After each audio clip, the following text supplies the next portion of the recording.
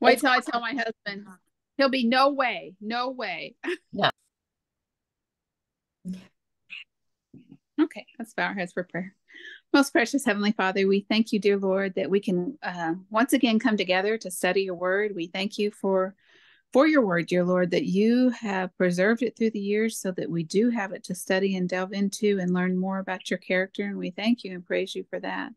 We invite the Holy Spirit in our studies this morning, dear Lord, that you would lead and guide and direct, and um, that you would open our hearts and minds so that we may hear what you have for us to learn from your word this morning. I pray these things in Jesus' name. Amen. Amen. Thank you. Okay, uh, Katie, you said you'll read.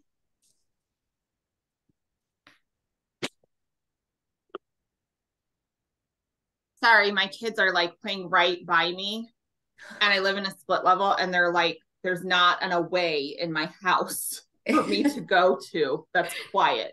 So, yeah, I, I, feel that. My husband was sick earlier this week, and one of the girls I mentor, she lives in Orlando, and um, she called me, and I had to go all the way into his office just to get so I didn't keep him mm-hmm. up because I'm like, there's no there's no privacy in this house. There mm-hmm. just isn't. So I had to go in there. So uh, if you don't mind reading verses one through five of Song of so- Songs three. Okay. On my bed, night after night, I sought him whom my soul loves. I sought him, but did not find him. I must arise now and go about the city. In the streets and in the squares, I must seek him whom my soul loves. I sought him, but did not find him. The watchmen who make the rounds in the city found me. And I said, Have you seen whom my soul loves? Scarcely had I left them when I found him whom my soul loves. I held on to him and would not let him go until I had brought him to my mother's house and into the room of her who conceived me. I adjure you, O daughters of Jerusalem, by the gazelles or by the hinds of the fields, that you will not arouse or awaken my love until she pleases. Okay, so I looked into this and I got a lot of stuff from the commentaries um, on this, but one said that this snapshot probably records another dream or daydream of the maiden. As in the previous chapter, with this section ending with her addressing her companions, we don't imagine that they haunted or stalked this loving couple with their actual presence at their intimacy.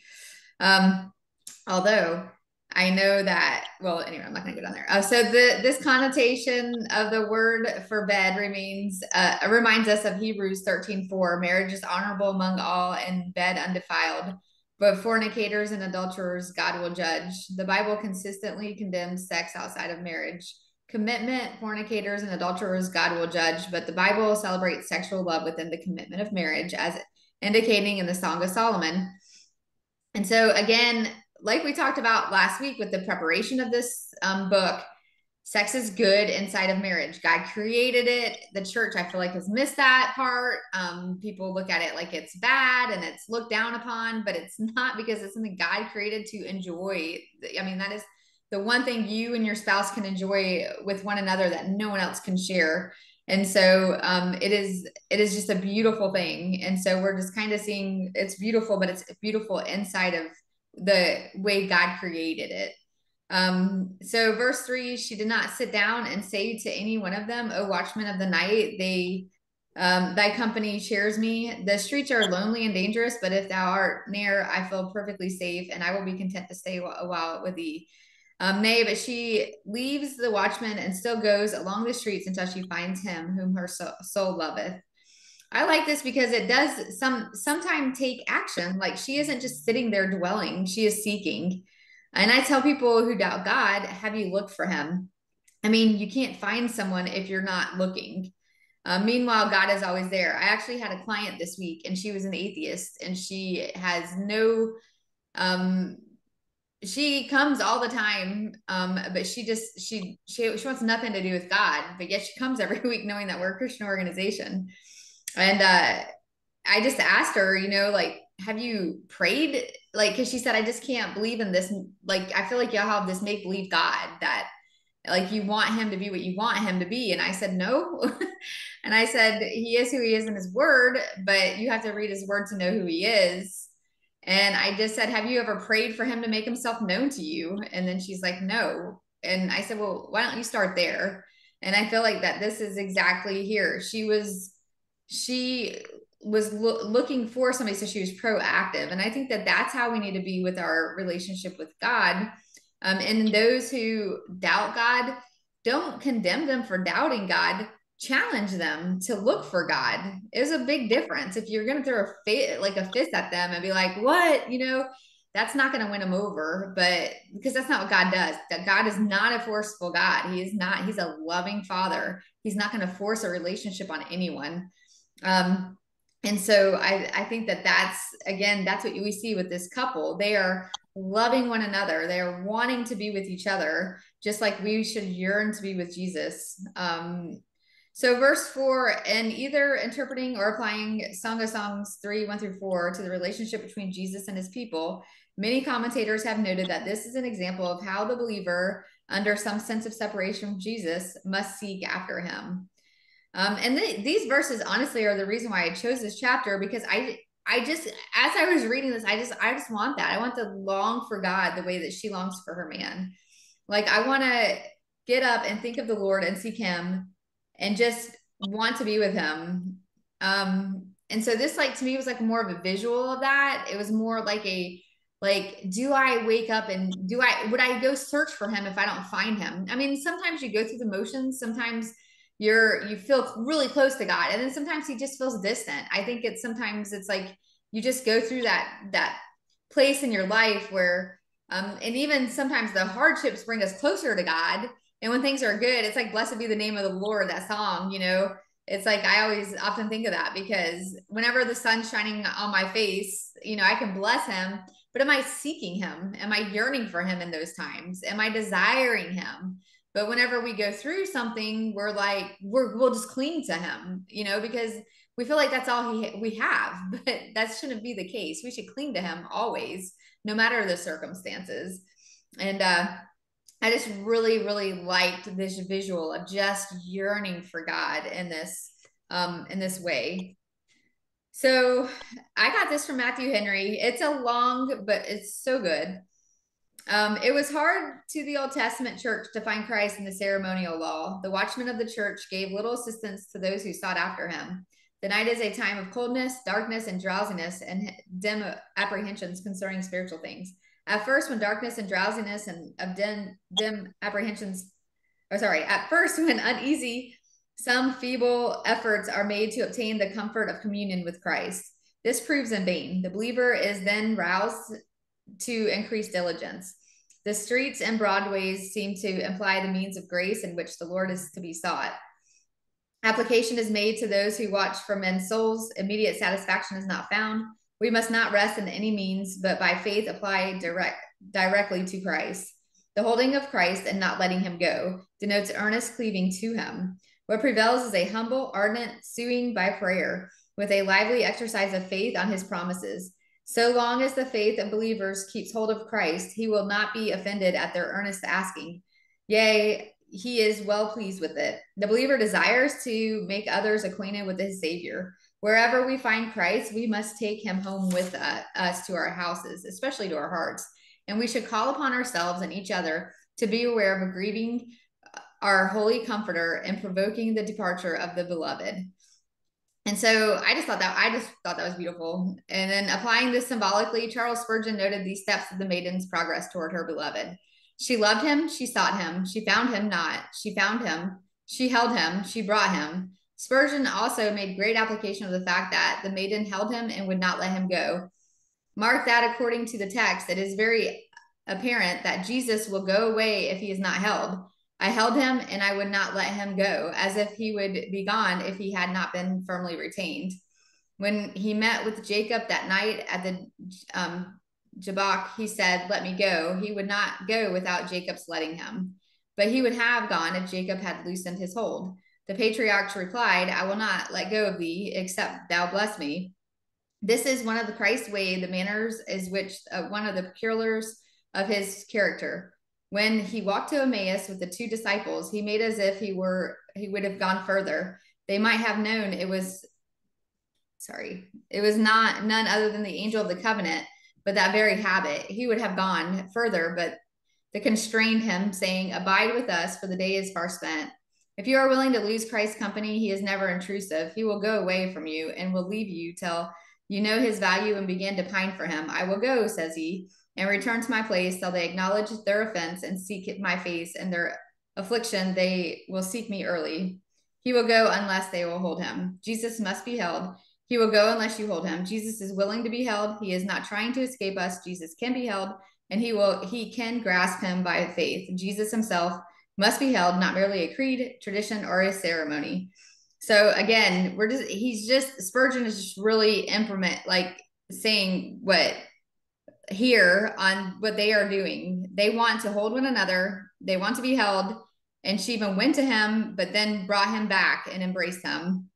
And it's weird to think of that with the Lord because he's so holy and just and it's weird to even think of that. Like if we if we think of this like more of a physical attribute in that sense because we can't physically hold Jesus, right? Um, but I have to say, through the Holy Spirit, I feel like He can definitely hold us, right? Have you ever been in that place where you have felt like there's nothing and no one there, and you have just felt His presence so much that you felt the Holy Spirit just holding you? And I have definitely felt that in my life during the hardships, and it's just so awesome. So hold on to your story on that because I want to hear a place where you've had that. I'm just going to finish this verse five and then we'll go to that. Young Women of Jerusalem begins a repetition of the ref- refrain of 2 7 and is tra- um, transitioned to the central section of the wedding day and night. And so that's what we're going to go to into the next transition trans- transition of the next verses. But um, does anybody have any time in a sense where you've just felt like the Lord has just held you, been there with you, and everything? Yeah, I've, I've had that time where it's like you you're just so the trial was just you couldn't even breathe. It was so hard that you feel like you're just at the bottom and you can't breathe. You feel like you're drowning. And then you can't even see anything but Jesus. You just look up and say Jesus because you can't even, there's just, you're just there. And then you'll feel this peace wash. It feels like the most coziest blanket. And it feels like you're just being lifted up. You're not, you know, but you just this you can't describe it. Such an indescribable peace and you know everything will be okay. And yeah it's like that. You just it's so such a beautiful feeling. And even though and you get through it. So. Yeah i love that. And that goes with the peace that surpasses all understanding. Mm-hmm. right. It does. During my mom's last days i lived at my sister's house and just slept on the floor next to my mom in the in the living room like just i was just there with her. And my sister had um i don't know if any of you guys have ever heard um the christian pianist dino. He plays mm-hmm. beautiful hymns and they have like sometimes nature sounds but they're very gentle and very sweet. And if you grew up with hymns and you know the words then it like ministers to a deeper part of your soul as well and so she had like a Pandora radio station of that playing. But while my mom's last days were happening, I just kept feeling the song standing on holy ground, that it was just like a sacred place that we were in. And then after she died, I don't know if you've ever heard the Brooklyn Tabernacle song In the Presence of Jehovah. Mm-hmm. I mean, look it up. It's a fabulous song. And when she died, that's what I switched to the song that was running through my head. And I just felt God was there, mm. that it was a holy time, and that there was healing in his presence. Mm. Mm. That's really cool. I felt similar well, peace, Katie, when my mom passed away.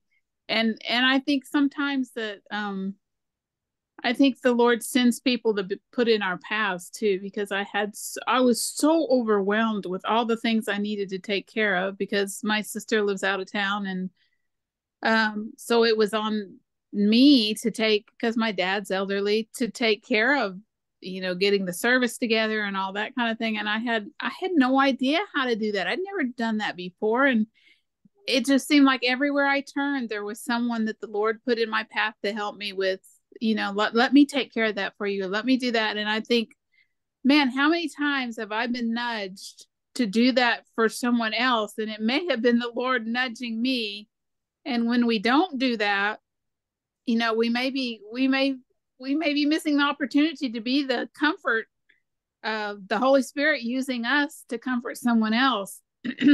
so I often think of that now when I'm like, do I really have time to do that or whatever? But I think of the people that were put in my path to help me and give me peace and give me comfort. And looking back on that, it's it's so hard. I'm like, I don't even know how I got through that once I got through it. But it's like he took me step by step by step by step and he gave me his peace and then he put people in my path. And and you you can't tell me that's not what it was because I totally believe that.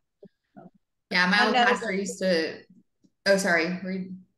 No, I was just going to say, I know that when my husband died, and he was um, English from England, and so I was like, oh my Lord, how do I handle this? Because he has holdings in England. And I just, all of a sudden, I freaked out. And his two sons were older, and they just said, uh, if you need us, let us know. But I had let them know, and they never responded. And I'd let my sons know. And one of my sons, the um, next day after I had prayed all night about help trying to get it worked out, he texted me, said, I'm already, he was in Germany. He said, I'm already in Silver Springs, Maryland. I came in on a C 130. I'll be down there this afternoon to Birmingham. And I, I want to tell you, I just, I got down on my knees and I said, Thank you, Lord, because I needed somebody to help me. I really did. Thank you. Wow. I don't know what I would have done. That is really cool. For me, I, uh, I've been having Go ahead. Sorry, it's Janie. For me, I've been going through a, like a really hard time because of my marriage and everything, and um, I decided because I felt like I heard from God to to stay and to um, if He was willing to go through counseling, and so he's in private counseling. I'm in private counseling, and in three weeks we start couples counseling. Um, and so I'm really struggling because everything in me because I've been through this before, says run. But I keep hearing from God, stay. Mm. And so I'm really, you know, and so I've been taking that and going, okay, God, I need you to move me forward. I need you to put people in my life. And I've had this overwhelming, since I decided to stay, um, this overwhelming peace that it's going to work out and that God can fix this um, because he had never been violent before. And so, and he's never been violent since. And so it just, I don't know. I'm still open to the fact that if it doesn't work out, if he doesn't, because it takes all of us, it takes God, me, and him to be willing. And if he chooses not to be willing, I still have all of the things set in place to leave and um, to get help and all of that. So it's not like I'm being stupid and just saying, okay, I'm here. Um, but yet at the same time, I'm just listening to God. And it's, it's very hard because sometimes I get judgment from people because I'm staying. And then other times I get judgment because I'm, because I'm, you know, because I didn't stay at, you know, in the beginning, I was talking about leaving. So I was like, um, I had to quit listening to what people were saying and start listening to what God was saying to me. That's right. And just be like with God that this was going to be worked out through Him. And that I had to know that it takes my husband being willing, me being willing, and God. And most importantly, God first. And so we've been watching sermons together every day um, in the morning before we start our day and listening to worship songs before we start our day and praying together before we, as soon as we get up and praying together when we go to bed. And then at lunchtime, when he comes home, we read a devotion from a couples devotion book. And so it's really been helpful. Um, and I just feel like we're on the right track. And I'm, I'm just really trying hard not to let that fear come in of, okay, Janie, don't be an idiot. Leave, leave. You need to leave. You know, um, and and trust in God that that this is where I need to be. And when I when I do that, I'm at peace. Mm. When I when I go into what people have said to me, um, people that have been through abusive situations, and people who are in the church and say don't leave and then people that are have been in abusive situations and gotten a divorce when i listen to all of that chatter that's when the peace goes away and what i need to listen to is god and so it's just unreal to me because i've never done this i've never done this where where when things get bad i stay i usually if things get bad I, I mean, I stay until I can't take it no more. And then, you know, because I have long term relationships, is all I've ever had is long term relationships. And then I just leave and I'm done with it. But this time, I'm I'm a Christian. I'm married now. Um, and so I wanted to be able to do this differently. I wanted to just focus on what God was telling me and not focus on what my inner fears are, what the past has done to me, my demons from the past what other people are saying. I wanted to really focus on God. So I'm really trying to do that. And when I do that, I am peaceful, completely peaceful. Yeah. And I think it's just handing it to the Lord and letting God take it and just going from there. Um, right. So very cool. That, that's a, that's good news, Janie, in a way that we can definitely be praying for sure. Um, okay, let's get to the next section. Uh, Katie, if you don't mind reading verses six through eight. And thank y'all for sharing. Those were awesome. What is this coming up from the wilderness, like columns of smoke, perfumed with myrrh and frankincense, with all the scented powders of the merchant? Behold, it is the traveling couch of Solomon, sixty men around it, of the mighty men of Israel. All of them are wielders of the sword, expert in war. Each man has his sword at his side, guarding against the terrors of night. Okay, so verse six, the word this is feminine in Hebrew, perhaps indicating that Shulamith was in the process or procession coming to Solomon, coming up from the wilderness, suggests two complementary allusions. One, Israel's emergence from the wilderness they had entered after deliverance from Egypt, and two, Adam and Eve's emergence from the wilderness they had entered after disobedience. The imagery of the Shulamite as a garden paradise on the wedding night is evident on the latter. The implicate, impl- implicate comparison of Shulamith to Israel are evidence of the former. Both allusions underscore the idea of romantic or the ideals of romantic love. Like Israel's new land, their love was the foundation of a new life together, like a new paradise. Their love recovered what romantic love was meant to be. Um, Verse seven, we might see we might say that Solomon's wedding party had 60 groomsmen. they weren't there to keep Solomon from backing out of the wedding. They were there to show that he was a powerful man who could genuinely protect his maiden. This is kind of crazy because last like as I was doing this Saturday night, my husband actually went to a bachelor party because of he's a groomsman and a wedding coming up. So I was like, wow, that's kind of crazy that I'm doing this. And then he was there. So um and so that was really cool and it was a really cool bachelor party because it was like um the guy my husband's the old guy in it um because he's mentoring the guy who is getting married but um one of the guys is a pastor um and then I can't remember the other two, but they're all really strong believers. So they just kind of sat around. They went out to eat and then they went around the fireplace, or um, they went out actually to the church and they did a fire pit and um, just t- poured into this guy about marriage and just talked about marriage the whole time and just poured into him and prayed over him. And uh, my husband said it was like the most holy bachelor party he's ever been to. it was just a really cool way to just kind of pour in and prepare him for marriage. So I thought that was really cool. Um, Therefore, the maiden had no need to worry and fear of the night because she was becoming one with her beloved. What belongs to him now also belonged to her. This expresses the oneness of life and the shared life that should exist between husband and wife. She and Solomon were so identified with each other at this state that there was a perfect oneness between them. What was his was hers. What he enjoyed, she enjoyed. This is union. Um, I feel like a lot of some of this is maybe getting a little changed nowadays. Um, I know like Dave Ramsey is big on having finances together, but I know couples that don't have finances together that they're definitely split down the middle and they don't have that oneness of that. Um, and so uh, that oneness bond kind of has been a little thwarted lately. Um, I can, I mean, some people I can, I, I don't know. It's, it's their life and I don't have to worry about it. So Um, but this is the union that God created in the beginning. Um, and we as believers need to be well armed. I can't help but to think about the full armor of God here. We have the sword of the spirit with us always. Are we skilled to use it?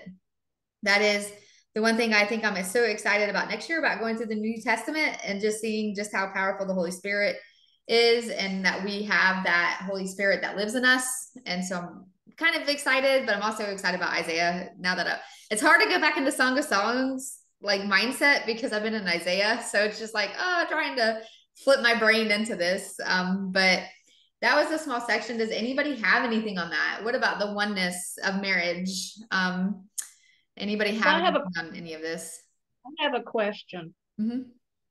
You may not have any feelings on it, or you don't want to have any um, about joining finances. I mean, how do you feel about that? I, after my first marriage and everything was joined all the way around. And when he walked off with somebody else, and then had I not had a very good lawyer, he was getting ready to just practically take everything out from underneath me. And he had already started taking out money out of the savings and putting it into another account that I never knew he had, an investment account and um, they said at the bank that it didn't need my signature that that was fine because he was primary on the account and i was secondary so i learned trying to get my insurance straightened out trying to do all that it took me several years and I struggled in those several years trying to get straightened out. So I have never since then, with my last husband, I mean, we had separate finances and did fine, but we came together when needed on certain things that we agreed on. Yeah, I think that that's where it goes per circumstance because, like, God intended marriage to be forever, and sometimes we can't change that. I mean, Vale, you and me are perfect examples of that. Going through a divorce, we know that that happens sometimes. You can't control the other person to force the other person to be with you. So, therefore, because this is a fallen world, it doesn't always work out the way God intended it to be. so, on that though, but I feel like if you are both, whenever you get married as a Christian, I feel like if you are both seeking the Lord, because this is a this this book especially is showing and much of scripture is that we should not be married unequally yoked. So whenever you are marrying somebody that is equally yoked with you, finances should be together. I mean, that just is like me and my husband, even though I'm divorced, like my me and my husband's finances are completely together because we're a team at this. We're we're working for the same goal and everything. Um, sometimes you can't control that. Sometimes you can't control the other person again. And um, like I'll say, for instance, my sister and brother in law, they have separate finances and it works. Their marriage is better because of it. It just is because they yeah. just could not see eye to eye on it. So I do think it's per circumstance, but I think God's design, I think God's design is for us to have it together. I just think that because you're working, that's like divorce, the one of the number one reasons for divorce is money. And but it can be also something that you can tag team together. And I'm thankful that me and my husband went through financial peace. I've been through it four times because I needed it a lot. And then now I'm, I help Lori with teaching the money um, thing I have in the past. I don't know if I will continue to do that, but, um, and I just see whenever you can do finances together, it's such a win now I say that I hate budget meetings. I hate when me and my husband have them. I sometimes don't show up and sometimes I do. But I but I think that um on that though, it is something that we can also it's just fun to be able to give and it's fun to be able to look at that together and say this is the this is what we can do together if you know if we work at it together and stuff. So I think as God design, God design, yes, um, you have that oneness, but I think that it's per circumstance. I mean, uh, I know Dave Ramsey. He's the one I listened to. I listened to him probably on finances, and I listened to the radio. There's a guy on eight o'clock on the radio that I listen to in finances, and he's he's kind of the same as what I had said. Is Dave Ramsey's a staunch. You should do finances together no matter what. But the guy who I listened to, he's a Kingdom advisor. I can't remember what exactly the Crown. I think he's Crown Larry Burkett's old ministry. Um, and he does say, you know, there's some circumstances where it's just going to have to be separated. And and Vale, I think with you being remarried, your kids were older then. Were they older? Yes. And yes. I think that that is that also makes a huge difference. I think that you have older kids. You, I, I think again, it's circumstances. I, I, I do. I, I don't think that there's anything. I mean, I think that's between you and your spouse, and you have to pray about it and see what God is kind of directing y'all to. Does anybody well, else have anything on that? Does anybody else? I mean, come on, y'all probably have more wisdom on that than me. Um, what what does everyone else think on that? I just feel like uh, we live in such a broken world. And actually, right now, currently, one of my sisters is in a not great situation. She had been kind of a stay at home mom for a really long time. And then um, now it's just, there's some things going on. And so my sister here and I are trying to like help her set things up. Like anytime dad's going to give her money, it's going to go into an account here and not where her husband can get to it right now because we live in a fallen world and people are broken and like I don't I don't know what to say because I my husband and I have combined combined finances. I'm a stay-at-home mom, I take care of the kids, but I also know that like then sucks. Yeah. I mean, I had a friend at the hospital and she always had an account separate that her husband never knew about. And she's like, that's it. If he leaves me fun. And like she in her mind always had that. And i'm like that's not really good and healthy if you're she said girl you just never know with these men. You just never know. I was like okay. You know i mean that's sad. I laugh at it. I shouldn't. It's really sad. But she just she always prepared because she saw like what katie was saying she saw so much brokenness in her life. And so i don't know does anybody else have anything like anybody Anyone? Well, it worked out for us we came together when we needed to on big things. And every toward the end of every year, we each pledged so much together to different things that we agreed on giving to. So I mean, and he helped with um, my sons who never really had a father, and um, was great with them and saw to it that one of them got braces. I mean, because he said, I want to do that. So, I mean, it, it worked out for us and it was mm-hmm. a lot situation because after going through several years of struggling, because my husband at that point that was an accountant was taking everything away i was like you know i will never do this again yeah I feel like there's more than one way to combine finances. And it really sounds like you and your husband worked together on it, whether they were combined or not. It sounds like you guys came together on it and worked together. And I think that that's what combined finances yeah. is supposed to be about, not about like what's mine and what's yours and yeah. whatever. I think it's just supposed to be about like having the common goals and working together. Yeah, I agree. Yep. Yeah, and for me, for me and my husband, we had no choice but to keep it together because his brain injury keeps him from remembering things. So we don't have a choice. We have to have it together because if we don't, then it's an issue. So, yeah.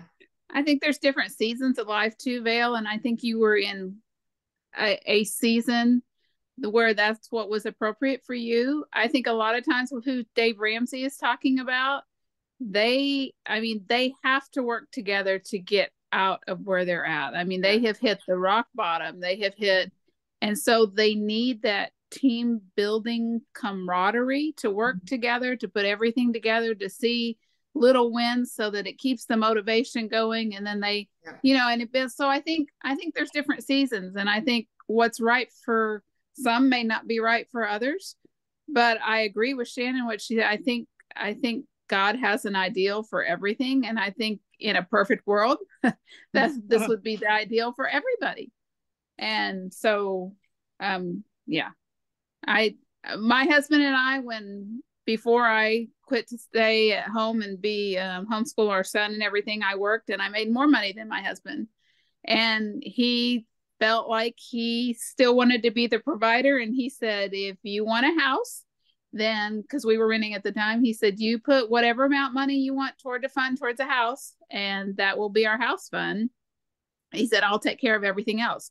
So i mean we might as well have been working together because i i wanted a house and all my money went in that house. And i mean we were we were working towards the same goal even though we had different but once i stayed home they have to be i mean they have to be joined because you know i don't i don't have any money coming in. So my part-time job is saving money yeah. And that's cool because you got this, you end up getting your house. So, yeah. Yeah. we, he wanted to pay cash for a house. I didn't want to wait that long, but we ended up, I mean, we worked so hard together. We put half down and only had to borrow half. And then we paid that off wow. in seven years. And so, wow. Um, that's amazing. I mean, we were, we were determined. And it's a humble little house. I mean, it's just, it's a very small, humble, but it's all we need and yeah. it's fun. So, yeah. Very cool. That's a great question, though, Vale. Well, I know that when uh, I married my husband, my house needed so many things done, but I mean, I just not been able to afford it. And he came in and he said, What do you think about doing this, doing that? I said, Well, yeah, but who's paying for this? He said, I will. I'm here now. Don't worry. And he even went to um, our priest and he said to him, He said, um, what I want to do, because this is a second marriage for both of us, is that I make life easier and better and show her that I do want things to be right for both of us. And so he remodeled the kitchen and the bathrooms and did a whole lot of things that when I look at him now and he's not here, I think, thank you. I really appreciate this, you know? Yeah. That's awesome. Bless those guys that come in and pick up the broken pieces of us and protect yeah. us. And I mean, I didn't have a broken marriage, but I had a really bad relationship before my husband. And I just appreciate that about him so much. And I, the way you're talking about your husband, I just love it. Yeah. Yeah. It's a, the God bless the broken road that brought me home to you is what I think of. Like when I heard that song the first time, I was like, that's it. That's it. It's exactly me and my husband. Um, very cool. Okay, well, let's go ahead and just finish this off. And I was hoping I saw some new people on, but I think they hopped off, and I was really sad because I was thinking we'd get done early, which we will, and I was gonna do like a go around the Zoom and introduce. So it's kind of sad. I think somebody maybe, or maybe just the picture turned off. But whenever we're done, we can um, kind of go around and just kind of introduce and for people who are on new. Um, uh, Katie, do you mind reading verses 9 through 11? Finish it off. All right. King Solomon has made for himself a sedan chair from the timber of Lebanon. He has made its posts of silver, its back of gold, and its seat of purple fabric, with its interior lovingly fitted out by the daughters of Jerusalem. Go forth, O daughters of Zion, and gaze on King Solomon with the crown with which his mother has crowned him on the day of his wedding and on the day of his gladness of heart. Yeah, man, that is like that's a nice ride right there. Um, verse nine, the maiden was impressed not only with the opulence of the okay, I looked this up how to say it, the palanquin, but especially that he, which is um when I looked that up, I meant to write it down what it was, which was like the what was it was well, anyway, I'll just keep on reading because it answers it. But especially that he shared all these symbols of authority and prestige with her. Solomon shared his best with his maiden, and Solomon's best was pretty good. This is why a boy must grow up and become a man before he can be a good husband, and why the process of preparing to become a husband and being a husband is good for maturing men. Love and marriage frequently bring out the noblest qualities in a person.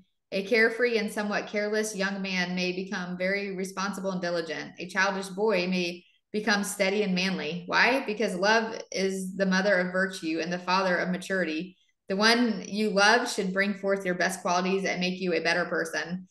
Um, remember, marriage is to make you holy, not happy. Um, it's not always going to make you happy, but it's supposed to make you holy because then in marriage, we see our sinful self and we see how selfish we are because that person is always with us and sees us all the time. Um, Considering that Solomon had his heart drawn away to many women and that these women drew his heart away from God, it is hard to see how this amazing collection of love poems could have come from such a corrupt man. This passage hints at one possible explanation. Could it be that this is the indication that if the song, song did not come from Solomon, it originated before his crowning in his most innocent period? This kind of, to me, backs up the theory that we talked about last week. Um, I do think that it was like I in my mind, I have to think that it was like 20 years before Solomon turned away from God whenever he wrote this, because he just had such a grasp of love. Um, and and it just shows such a just such a portrait of Christ. I don't know. I mean, I it's not one of those things I'm gonna go on my deathbed and just like stand on. I I mean, I just know that it's God's word and He wrote it and that we wanted to enjoy it and He wants us to enjoy it. Um, it was a good, glad wedding because their love was real. It was passionate, but it was also pure and restrained into the proper channels. This principle made it a glad day, not only for the maiden and the beloved, but also for everyone. So that's what weddings are. Every um, weddings are for um, a time to celebrate that couple, to remind us to pray for them, to to remind us. I like going to weddings because it just reminds me of the vows I made and a refresher because sometimes I need them. and so it's just a great thing to just be a part of and just to see, you know, you see that cuteness and you're like, oh, aren't they just so precious and cute? Oh, like it's just so nice. Um, so I'll end with Matthew Henry. Um, a wilderness is an emblem of the world. The believer come comes out of it when he is delivered from the love and its sinful pleasures and pursuits and refuses to comply with its customs and fashions to seek happiness and communion with the Savior. A poor soul shall come up at last under the conduct of the Comforter, like a cloud of incense ascending from the altar, or the smoke of the burnt offerings. This signal pious and devout affections and the mounting of the soul heavenward. The believer is filled with the graces of God's Spirit. His devotions now are very lively. These graces and comforts are the holy Canaan. He who is in the peace of his people, the King of the heavenly Zion, was provided for the safe convenience of his redeemed through the wilderness of this world. The bed, the palanquin, was contrived for rest and easy con- conveyance but its beauty and magnificence showed the qualities of its owner. The church is well guarded. More are with her than are against her. Believers, when they repose to, in Christ and with Him, though they have their fears in the night, are yet safe. The chariot here denotes the covenant of redemption, the way of our salvation. This is the work of Christ, which makes him loved and admired in the eyes of the believers. It is framed and contrived both for the glory of Christ and for the comfort of believers. It is well or ordered and all things ensure. The blood of the co- covenant, that rich purple, is the cover of his chariot, by which believers are sheltered from wind and storms of divine wrath and the troubles of this world. But the midst of it is that love of Christ, which passes knowledge. This is for believers to repose upon Christ and his gospel, manifest himself Take special notice of his crown. Applying this to Christ, it speaks the honor put upon him and his power and dominion. Um, I just thought that was really beautiful. Um, I just love how Matthew Henry always brings everything back to Christ. And I think that that is what's so important. That's what the New Testament does. Everything in the New Testament, it should be a portrait of Christ. Um, and we see that so much in the Song of Songs. We see so much of the beauty and the love God created um, in marriage and and and a relationship with the Lord. Um, does anybody have anything on that last section?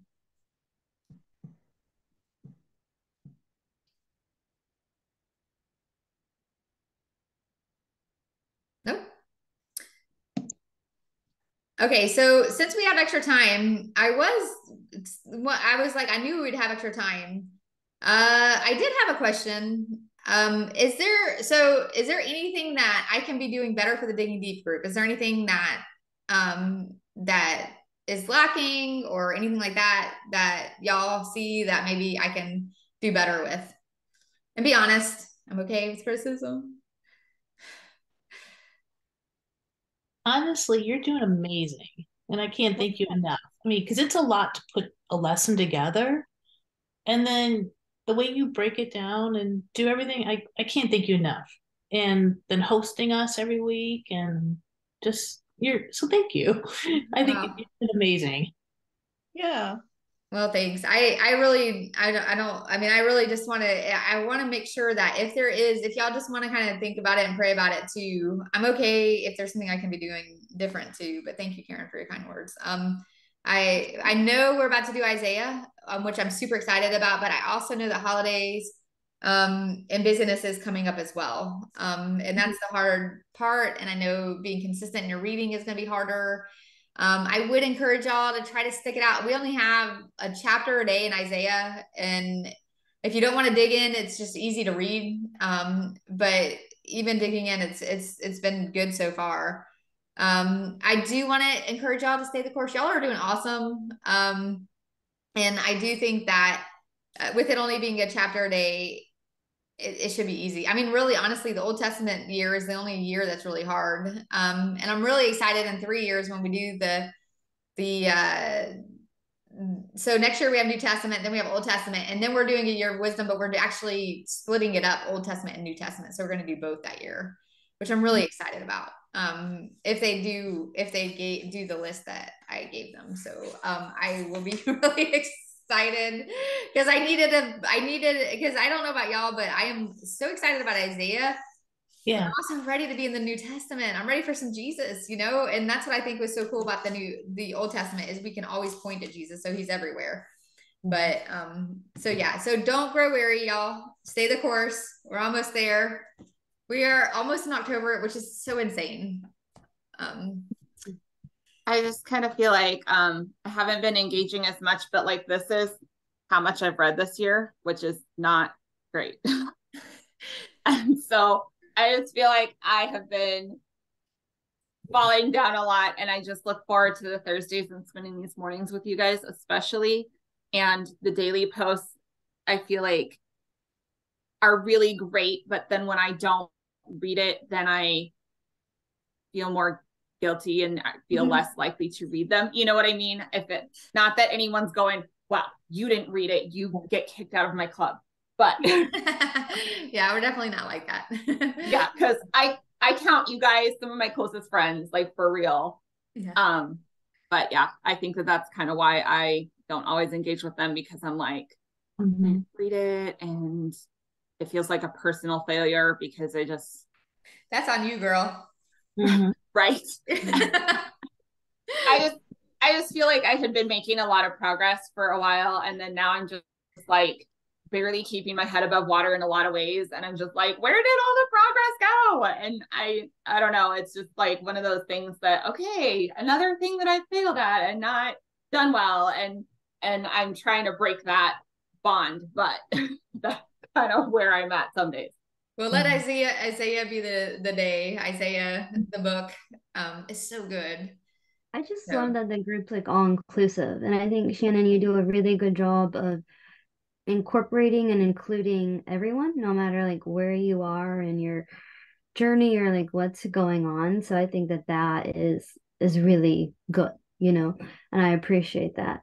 And i would say katie don't worry about being behind. You read a lot anyway but the one thing about like being behind is no matter how far like behind i am or no matter what happens it's like i think i was supposed to be behind like that's how i always feel Yeah, that is kind of crazy, Amanda, that you say that because like I I'm doing a um like a thing every day with one of the girls I mentor. She's struggling with something, so I said let's just do a short devotion on the Bible app every day. So we're doing like this thing together and I, I I missed one and I went back and I was like, I'm so sorry I missed a day. And then I went to go do it and I was like, oh, this is meant for today. This is so great. How does God do this? Like, oh my goodness, like what is how how does he do these things? I don't know. It's just amazing um it's just so cool how he does that so i agree amanda it's just insane how yeah so just keep preaching jesus jill and change your perspective because that's what we need every day yeah and we'll get through it all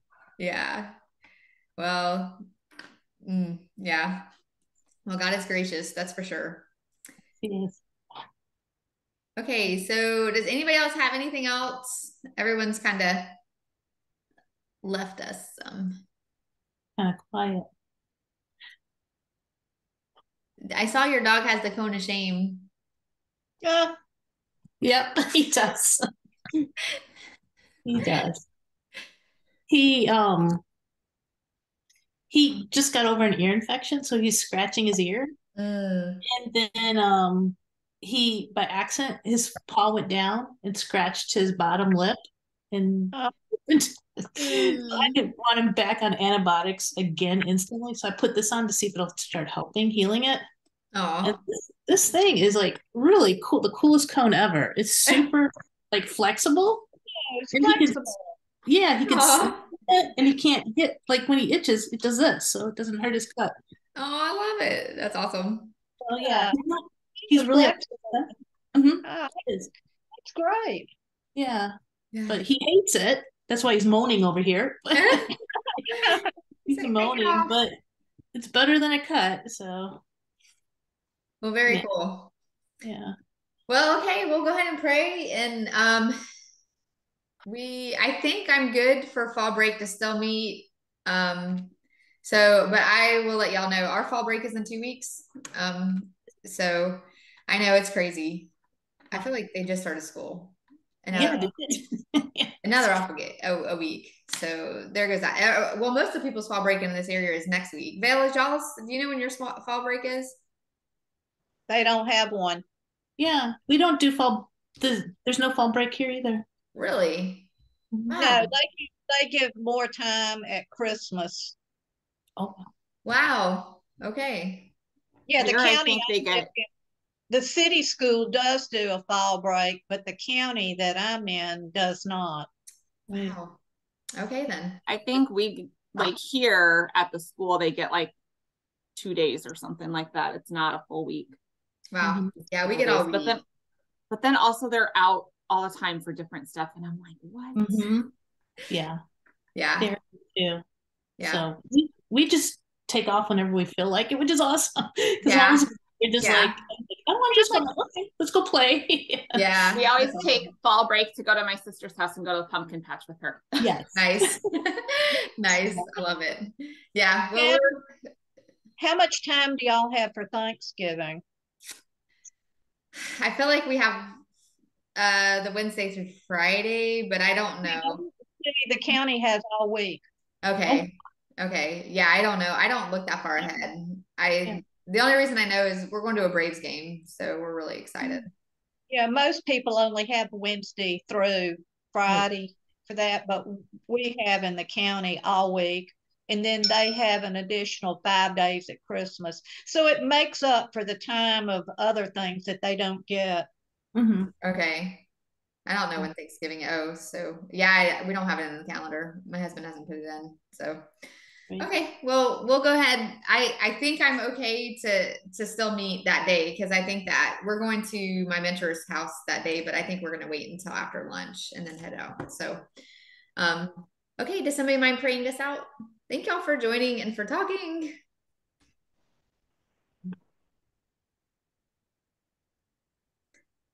I can pray if nobody else wants to. Go ahead, Katie.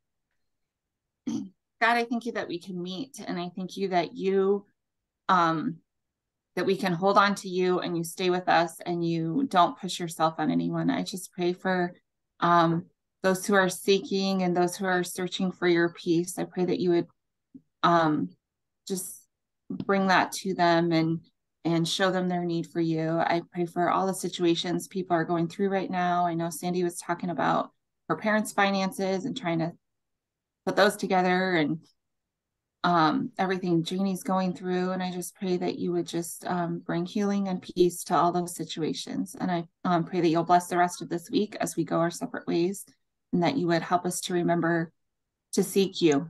In your name I pray. Amen. Amen. Thanks. Y'all have a great week. You too. Bye.